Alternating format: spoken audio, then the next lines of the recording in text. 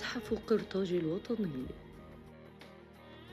يضم متحف قرطاج الآثار والقطع النادرة والثمينة التي التقطت من مدينة قرطاج الأثرية والمصنفة على لائحة اليونسكو للتراث العالمي. ويضم العديد من القطع التاريخية المهمة والتي يعود تاريخها لعدة قرون قبل الميلاد. بالإضافة إلى العديد من الآثار الأخرى التي تعود لمراحل زمنية مختلفة.